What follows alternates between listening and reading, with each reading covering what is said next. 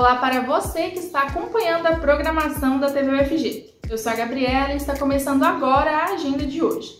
Com ela você fica por dentro dos eventos e serviços da universidade.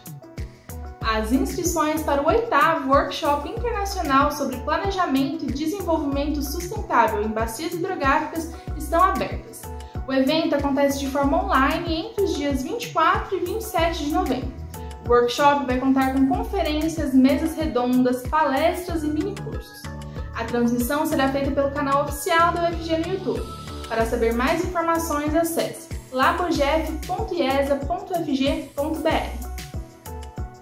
O 14º Festival de Artes Cênicas será transmitido pelo canal oficial da UFG no YouTube entre os dias 19 e 26 de novembro. A temática dessa edição é a nova normalidade.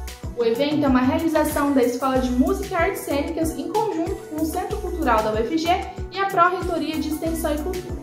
Para saber mais informações, acesse o site ufg.br. Estão abertas as inscrições para o primeiro colóquio Estabelecimento Prisionais, Realidade, Construção e Gestão. O evento acontece nesta quinta-feira e as inscrições podem ser feitas até essa data. Colóquio é realizado pela Faculdade de Direito, pelo Programa de Pós-Graduação em Direito e Políticas Públicas e também pela Pró-Reitoria de Extensão e Cultura. O evento será transmitido pelo canal oficial da UFG no YouTube e para saber mais informações e realizar a sua inscrição, acesse ppgdp.direito.fg.br.